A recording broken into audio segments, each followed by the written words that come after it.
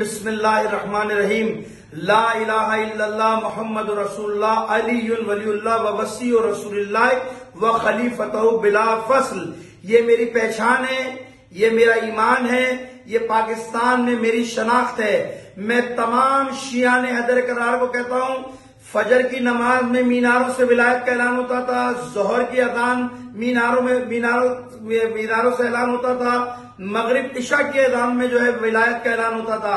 अब मस्जिद के माइक से पाँच बार अली वलील्ला की अजानें आनी चाहिए।